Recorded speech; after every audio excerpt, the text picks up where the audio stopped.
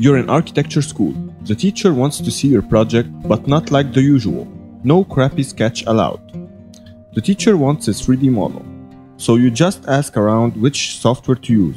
People will tell you SketchUp because it's easy and fast. Well, it could be and could give you a decent outcome.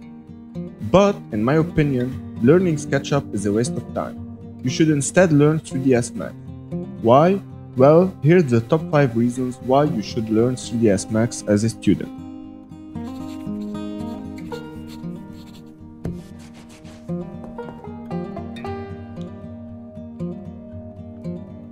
Just do it!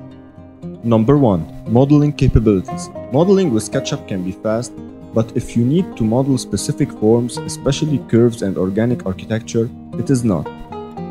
SketchUp needs a lot of third-party extensions and still cannot be compared to the modeling capabilities of uh, 3ds Max. In fact, 3ds Max has a shitload of modifiers that when mastered could give you any form you need and with less third-party intervention. Even with the selection tools, it's much easier in 3ds Max. In addition to that, sculpting can be done in 3ds Max even if it's not its main purpose, while in SketchUp it's not feasible.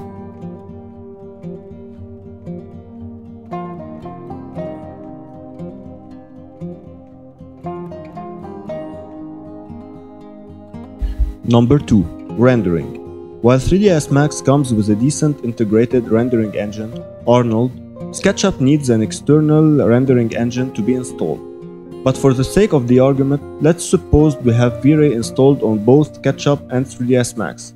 While you can get similar results with both, 3ds Max have better optimization and better in-engine rendering.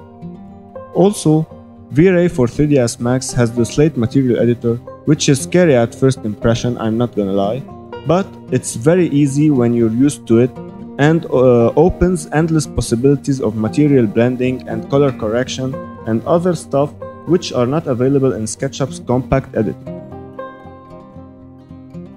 Sure, you can always layer stuff on top of each other uh, with opacity maps, but I don't think it's as efficient as 3ds Max once you get used to it. Number 3. 3D models. When it comes to 3D models for your scene, you'll find a much bigger library for 3ds Max than SketchUp. Mainly, almost every 3D model is optimized to 3ds Max and V-Ray, but few are for SketchUp. Sure, you can get free models from SketchUp Warehouse, but there is also free models on websites like TurboSquid and with better quality. But in comparison, even the paid models of SketchUp cannot compete with the paid models of 3ds Max, such as Evermotion.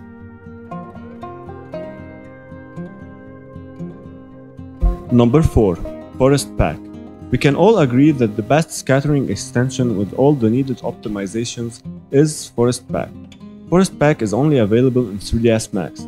There is the scatter alternative for SketchUp, but it's not even close to the possibilities that Forest Pack offers. With the integrated presets, you can go and make the easiest, fastest, most realistic grass. Also, you can use Megascans models and Skatter them for a bigger variety of assets.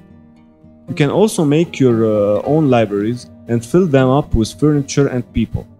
This extension can be used to put furniture in your model faster than uh, importing them one by one. In conclusion, I love Forest Pack and it's maybe the top reason of why I switched from SketchUp to 3ds Max.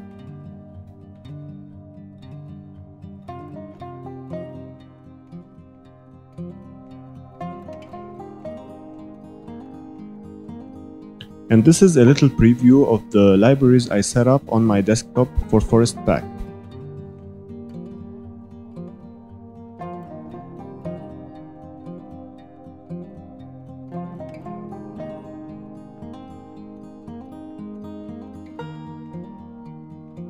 Number 5. The job market.